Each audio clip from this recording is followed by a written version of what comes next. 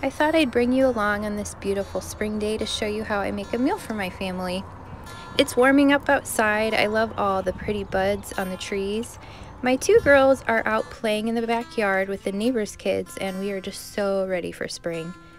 I'm gonna make a copycat HelloFresh chicken meal. This is always my daughter Nora's favorite dish. It's topped with Mexican style panko and sour cream and when it bakes up it's totally delicious with creamy mashed potatoes. Let me show you how I make it. Here I'm just chopping up some Yukon Gold potatoes and then I'll add some hot water and some salt and put it on the stove to boil for about probably 20 minutes.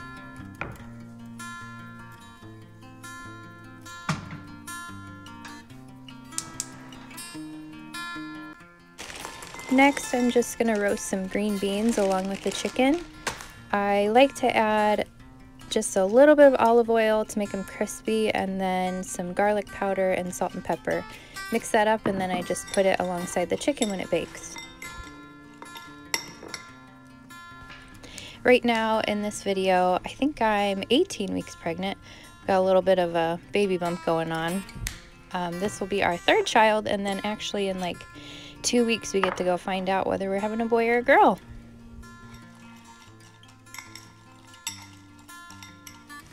Here I'm just going to spray the pan and then dry off the chicken with a paper towel and then I will season both sides with salt and pepper.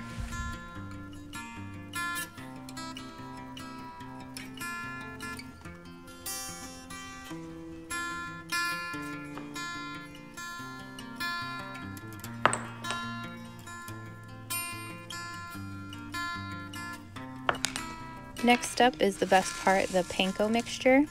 You'll just put some panko in a bowl with some salt and pepper, some taco seasoning, and then a sprinkle of cheese.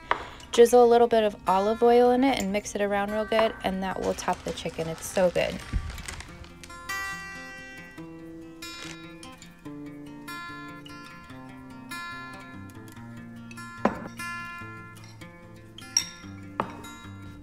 Here I'm just topping each piece of chicken with some sour cream and then I will stick on the panko mixture.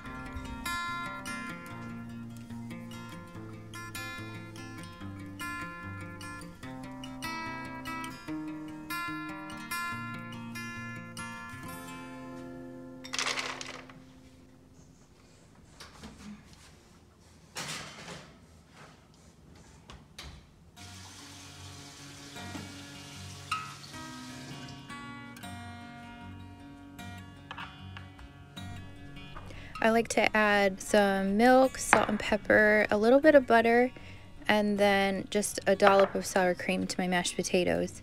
I first mash them with a potato masher to get them all um, all the chunks out and then I will mix it up and get them whipped with the mixer.